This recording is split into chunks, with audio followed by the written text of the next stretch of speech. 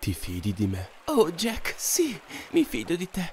E tu ti fidi di me? Hai un tabacchino, ci sono delle Goleador. A quanto le vendi? Eh, eh, n- non so, eh, a 20 centesimi?